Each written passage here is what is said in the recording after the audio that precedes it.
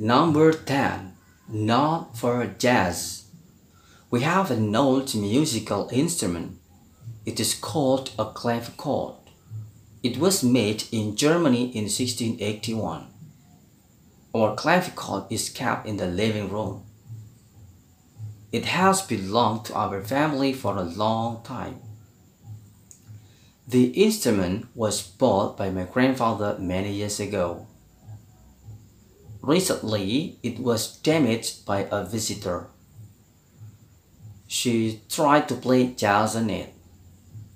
She struck the keys too hard and two of the strings were broken.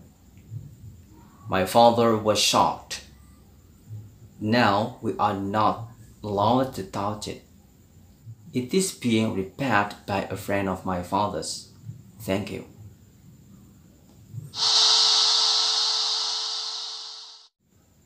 Assalamualaikum warahmatullahi wabarakatuh. Welcome back to my channel Mr. Imron Kursus Bahasa Inggris Online. Gimana tadi teman-teman setelah nonton video saya di awal tadi Yaitu tentang bagaimana caranya kita bisa membahasa Inggris dengan baik dan lancar Hanya dengan latihan menghafal short story atau cerita pendek Dengan metode menghafal New Concept English nomor 10 yaitu Not for Jazz. Menggunakan buku ini ya teman-teman bagi kalian yang tidak punya buku ini tidak masalah, kalian bisa pelajari di penjelasan saya nanti. Eh, bisa kalian screenshot dan kalian tulis ya. Jadi teman-teman, insya Allah ke depan kita akan belajar new concept untuk meningkatkan kemampuan bahasa Inggris kita dengan cara menghafal cerita ya pendek-pendek saja. Nah itu teman-teman untuk lebih jelasnya pemahaman daripada materi kita kali ini langsung saja kita lihat penjelasannya berikutnya yuk A few moments later. Baik teman-teman, setelah kalian mendengarkan teks yang saya sampaikan tadi secara lisan, kali ini kita akan membahasnya isi teks tersebut secara lengkap dan jelas dan juga kita coba untuk menerjemah ke dalam bahasa Indonesia. Uh, sebelumnya saya ingatkan lagi bagi teman-teman yang belum subscribe sekarang subscribe sekarang juga karena subscribe itu gratis. Dan dengan sesuatu kalian kalian sudah membangun channel ini untuk lebih bagus lagi. Dan tentunya jika kalian subscribe channel ini ketika saya upload video terbaru kalian akan mendapatkan notifikasi atau pemberitahuan dari channel ini. Jika sudah diklik subscribe-nya saya sampaikan thank you very much Oke saya, oke teman-teman langsung saja kita bahas di sini ya. E, materi yang ke-10 di konsepnya dengan judul Not for Jazz. Oke ya, saya baca dulu, saya baca lagi. E, kalian dengarkan dan pahami apa yang saya sampaikan. Number 10. Not for jazz. We have an old musical instrument It is called a clavichord. It was made in Germany in 1681. Our clavichord is kept in the living room. It has belonged to our family for a long time. The instrument was bought by my grandfather many years ago. Recently, it was damaged by a visitor. She tried to play jazz on it. She struck the keys too hard, and two of the strings were broken. My father was shocked. Now we are not allowed to touch it. It is being repaired by a friend of my father's. Thank you. Oke ya, saya ulangi lagi. Kalian bisa menirukan setelah saya. Oke. Number 10. Not for jazz. We have an old musical instrument. It is called a clavichord. It was made in Germany in 1681. Our clavichord is kept in the living room. It has belonged to our family for a long time. The instrument was bought by my grandfather many years ago. Recently, it was damaged by a visitor. She tried to play jazz. She struck the keys too hard, and two of the strings were broken. My father was shocked. Now we are not allowed to touch it. Now we are not allowed to touch it. It is being repaired by a friend of my father's. Thank you. Nah, tadi teman-teman eh, cara bacanya, semoga kalian bisa menirukan. Sekarang kita coba untuk menerjemah ya. Number 10, not for jazz. Nomor 10, bukan untuk musik jazz. We have an old musical instrument. Kita memiliki sebuah alat musik tua. It is called a clavichord. Ini disebut sebagai clavichord. It was made in Germany in 1681.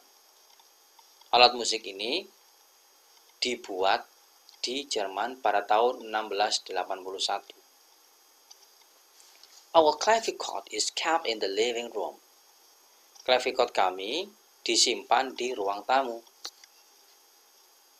It has belonged to our family for a long time. Alat musik ini telah dimiliki oleh keluarga kami sejak lama.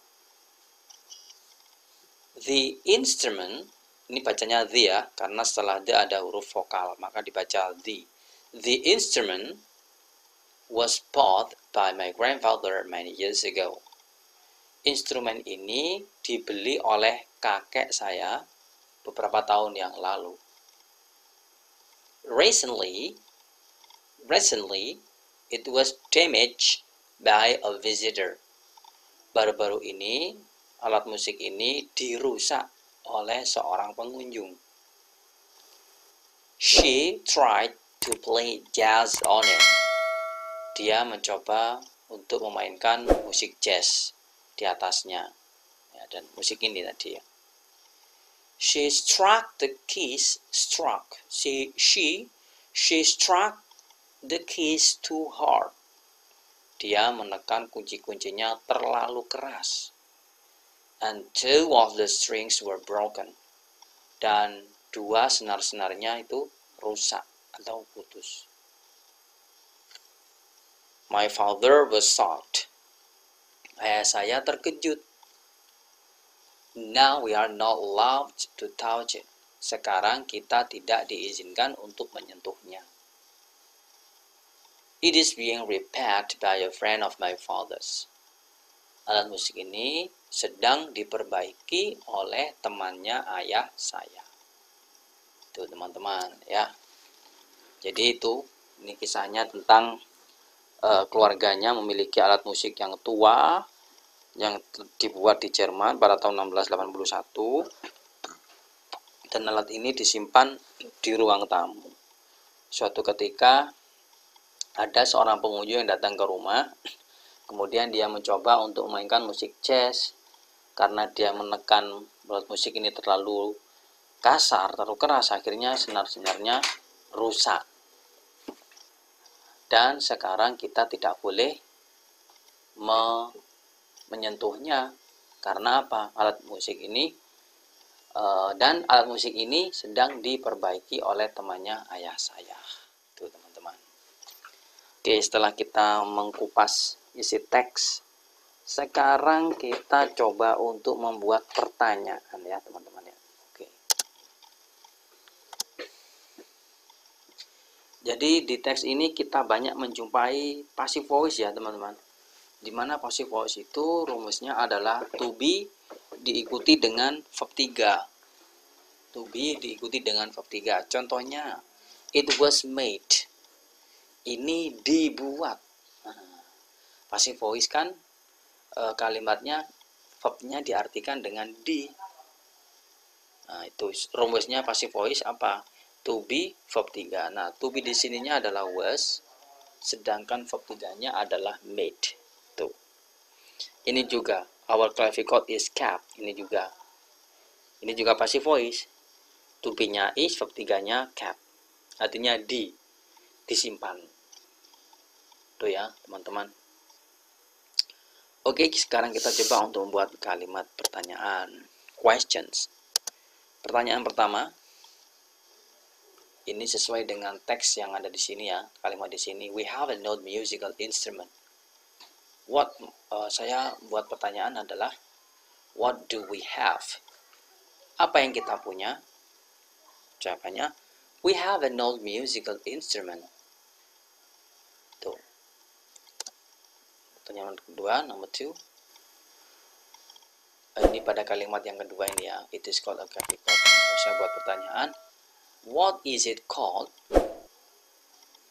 Apa itu dinamakan? Maka jawabannya, It is called a clavichord. Ini dinamakan clavichord. Berikutnya pertanyaan menggunakan kalimat it was made in Germany. Saya jadikan buat saya jadikan kalimat interrogatif tetapi ini saya pakai Jepang. Kalau yang ditekskan pakai Jerman. Maka kalimatnya seperti ini. Was it made in Japan? Apakah ini dibuat di Jepang? Jawabannya, No, it was not. But it was made in Germany. Itu jawabannya. Next, number four. Ini saya tanya waktunya, kapan dibuatnya ya. Jawabannya 1681 nanti ya. Oke, kalimatnya adalah When was it made? Kapan itu dibuat? Jawabannya It was made in Germany in 1681. Oke, teman-teman, berikutnya nomor 5. Ini saya menggunakan uh, question word where. Menanyakan tempat. Ya. Saya buat kalimatnya adalah where is our clavichord cap? Di mana clavichord kita disimpan? Jawabannya our clavichord is kept in the living room. Tuh. Next, ruang apa namanya? Clavichord kita disimpan di ruang tamu. Next, number six. Uh, menggunakan kalimat it has belong to our family for a long time. Yang saya tanyakan long time-nya, lamanya. Nah, ini jadikan kalimat seperti ini. How long time has it belong to our family? Berapa lama alat musik itu telah dimiliki keluarga kita? Jawabannya, berapa lama? It has belonged to our family for a long time. Alat musik ini telah dimiliki keluarga kita sejak lama. Berapa lama? Was away, selama. Boy. Next, number seven. Ini kalimatnya ini. The instrument was bought by my grandfather. Yang saya tanyakan siapa yang membeli. Ini ya, my father. Maka jadikan kalimat. Karena ini kalimat passive voice, maka kalau jadikan kalimat pertanyaan seperti ini jadinya. By whom was the instrument bought? Artinya, oleh siapa instrumen itu dibeli? Oleh siapa? Ya oleh kakek saya. Maka jawabannya, the instrument was bought by my grandfather many years ago. Alat musik itu dibeli oleh kakek saya beberapa tahun yang lalu. Next, number 8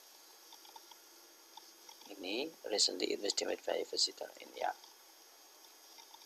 pertanyaannya recently what was damaged by a visitor baru-baru ini apa yang dirusak oleh pengunjung apa recently it was damaged by a visitor atau recently the instrument was bought by a was damaged by a visitor atau juga Recently, our clavichord was damaged by a visitor. Boleh. Next, number 9. Ini saya menggunakan kalimat she tried to play jazz on it. Saya jadikan kalimat interrogatif. Jadinya, did she try to play a guitar? Apakah dia mencoba untuk mainkan gitar? No, she did not. But she tried to play jazz on it number 10 ini kalimatnya saya bukan she struck ya nah pertanyaannya did she strike the keys too hard? Apakah dia menekan kunci-kunci terlalu keras? Yes, she did. Atau Yes, she struck the keys too hard. Itu. Next, number 11. Ini yang saya tanyakan adalah jumlah yang rusak. Ada dua. Maka kalau saya jumlah merupakan how many. How many strings were broken? Berapa banyak senar yang rusak? Two of the strings were broken. Dua senarnya rusak. Next. Yang saya tanyakan adalah uh, shock ini ya. Maka jadinya adalah How was your father? Jawabannya, My father was shocked. Ayah saya terkejut. Ini kan, bagaimana ayah kamu? Ayah saya terkejut. How was your father? My father was shocked. Tuh. Next, number 13 yang saya tanyakan ini now we are not allowed to touch it. Saya jadikan kalimat interrogatif. So now are we allowed to touch it? No we are not allowed to touch it. Tuh. Next terakhir. Ini yang saya tanyakan siapa yang memperbaikinya maka jadikan kalimat by whom kenapa kok pakai by whom karena ini kalimat uh, apa namanya passive voice. Kalau kalian ingin tahu passive voice seperti apa bisa cek di YouTube saya tinggal cek eh, apa namanya passive voice Mr. Imran keluar semua itu. Oke maka jadinya by whom was it being repaired oleh siapa ini sedang diperbaiki jawabannya it was being repaired by a friend of my by a friend of my father's. Itu. Oleh siapa? Alat ini diperbaiki. Alat ini sedang diperbaiki oleh temannya ayah saya. Itu teman-teman. Oke sekarang saya ulangi lagi dari awal. Beserta jawabannya agak cepat ya.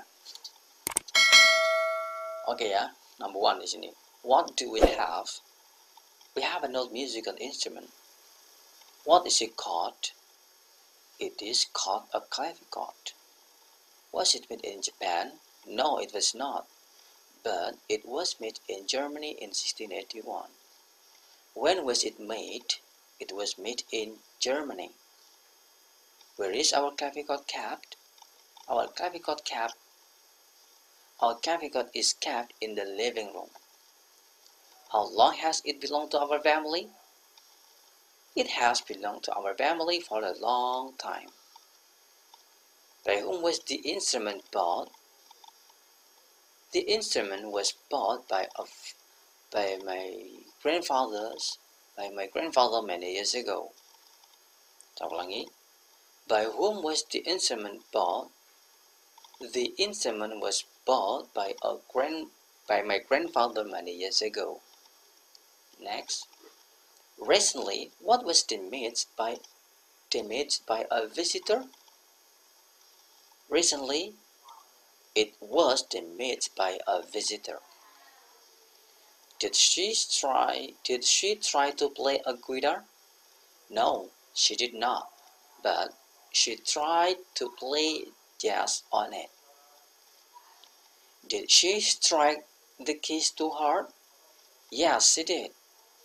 She struck the keys too hard. How many strings were broken? Two of the strings were broken. How was your father? My father was shocked. Now, are we allowed to touch it? Yes, of course. Now, we are not allowed to touch it. And last, by whom was it being repaired? It was being repaired by a friend of my father's. Thank you. You're welcome. See you. I hope so. Thank you for your time. You're welcome. Jadi itulah tadi teman-teman video pembelajaran uh, pada hari ini tentang new concept dengan judul Not Jazz nomor 10 di mana belajar menggunakan ini bisa meningkatkan kemampuan belajar kita terutama bahasa Inggris karena pada dasarnya bahasa itu harus dipraktekkan. Oke, itu saja dari saya. Thank you for watching. See you on my next video. Assalamualaikum warahmatullahi